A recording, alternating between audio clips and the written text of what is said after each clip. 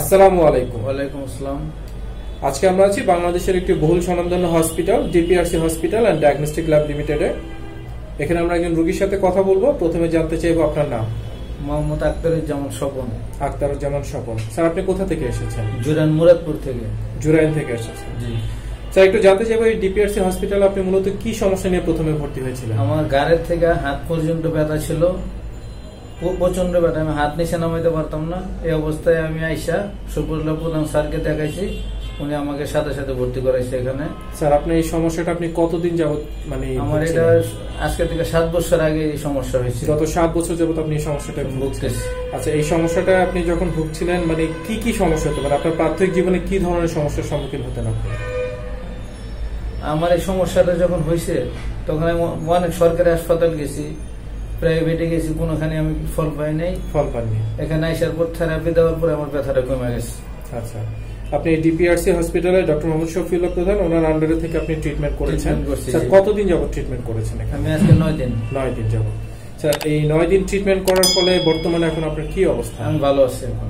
কতটুকু ভালো? আমি মোটামুটি এখন আমার মানে ব্যথা নাই বললেই চলে। ব্যথা নাই বললেই চলে। তার মানে গত এত বছর যাবত আপনি যে কষ্টে ভুগেছেন আপনার দিনের পর দিন যে আপনি অমানসিক কষ্টে ভুগেছেন সেই কষ্টটা মাত্র নয় দিনে আপনার ভালো হয়ে গেছে এখন আপনি ভালো হয়েছে থেরাপি দেওয়ার পরেই আপনি সম্পূর্ণ সুস্থ বোধ করছেন। জি। স্যার একটু জানতে চাইব যে এই সমস্যাটার কারণে আপনি এর আগে কোথায় কোথায় চিকিৎসা করেছিলেন বা কি ধরনের এর আগে আমি ন্যাশনাল হাসপাতাল দেখাইছি আচ্ছা। সিটি হাসপাতাল দেখাইছি আজগর আলী হাসপাতাল দেখাইছি কোনো রেজাল্ট পাইনি। মানে ওখানে যে ধরনের ট্রিটমেন্টগুলো করা হয়েছে হয়তো আপনি মেডিসিন খেতেন কয়েকদিন ভালো থাকতেন থেরাপি দিত তারপর আবার যা যে হে হইতো। যে আগে- আগের মতো অবস্থা চলে যেত। মানে আপনি কোথাও আপনি ঠিক সঠিক আপনার ট্রিটমেন্টটা আপনি পান না পাইনি তখন আমি মোবাইল দেখা হঠাৎ দেখি ডিপিআরসি ঠিকানা দেখলাম শ্যামলি। আমি সরাসরি চলে আসছি সরাসরি চলে আসছেন। আসার পরে ডক্টর মোহাম্মদ শফিউল্লাহ প্রধান ওনার সাথে হয়তো আপনি আসার আগে ফোন দিছি বলছে আপনি আসেন আমরা দেখা দেবো। আচ্ছা দেখানোর পরে স্যার হয়তো আপনাকে আশ্বাস দিয়েছেন যে আপনি অবশ্যই ভালো হয়ে যাবেন। মামান আসার পর স্যার বলছে যে আপনি কি ব্যথা কমাতে চান না আপনার অসুখ ভালো করতে চান? আমি স্যার আমার অসুখটা আমি ভালো করতে চাই। জি। তাহলে ভর্তি হন। আচ্ছা। তারপর আপনি ভর্তি হয়ে বাকিটা তো এখন আমরা নিজের চোখেই দেখতে পাচ্ছি। আপনি সম্পূর্ণ সুস্থ হয়ে গেছেন এবং সম্পূর্ণ ভালো হয়ে গেছেন। স্যার একটু জানতে চাইব যে আপনি যতদিন এই ডিপিআরসি হসপিটালে ভর্তি ছিলেন এখানকার যারা ডাক্তার ছিলেন নার্স ছিলেন হ্যাঁ। বা অন্যান্য স্টাফ তারা কি টাইম টু টাইম আপনাকে সেবা দিয়েছে? আমার কোন সময় ডাকতে হয় না ওনাদের। জি। ওনারা টাইম মধ্যে এসে আমারই ডাকছে। আপনাকে আমাকে ডাকছে যে চলেন। টাইম টু টাইম সব সেবা আপনি হ্যাঁ, সেবা, যতটুকু পাওয়ার আপনি সবটুকুই পেয়েছেন। রুম পরিষ্কারের থেকে দইরা কারোর কিছু বলতে হয় না সবটুকুই সম্পূর্ণ ভালো।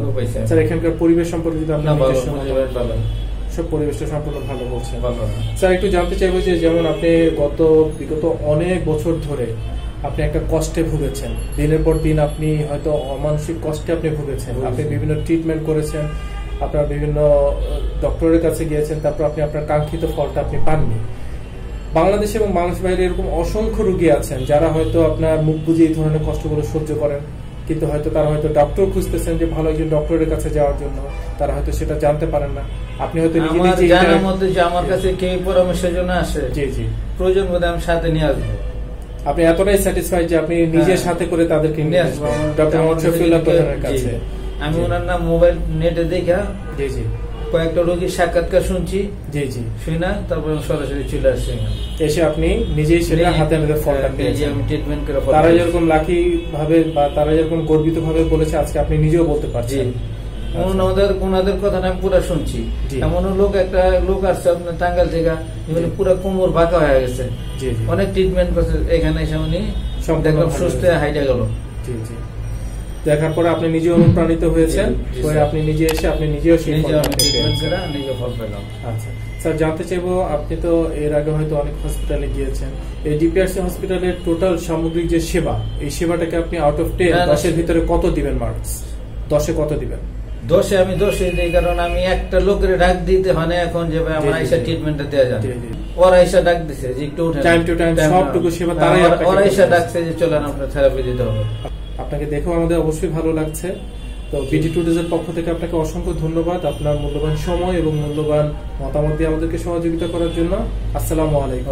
আপনাকে অনেক ধন্যবাদ। আসসালাম আমরা জানি আপনার প্রিয়জন আপনার জন্য কতটা গুরুত্ব বহন করে। প্রপার ডায়াগনোসিস কনসালটেশন পেইন ও প্যারালাইসিস চিকিৎসা পুনর্বাসন আমাদের সব আয়োজনই সবসময় আপনাদের জন্য চব্বিশ ঘণ্টা খোলা। আমরা চাই না আপনারা বারবার আমাদের কাছে ফিরে আসুন তবুও আমরা আছি সব সময় সর্বদা আপনাদের পাশেই। ডিপিআরসি হসপিটাল লিমিটেড আস্থা বিশ্বাস ও নির্ভরতায় অবিচল।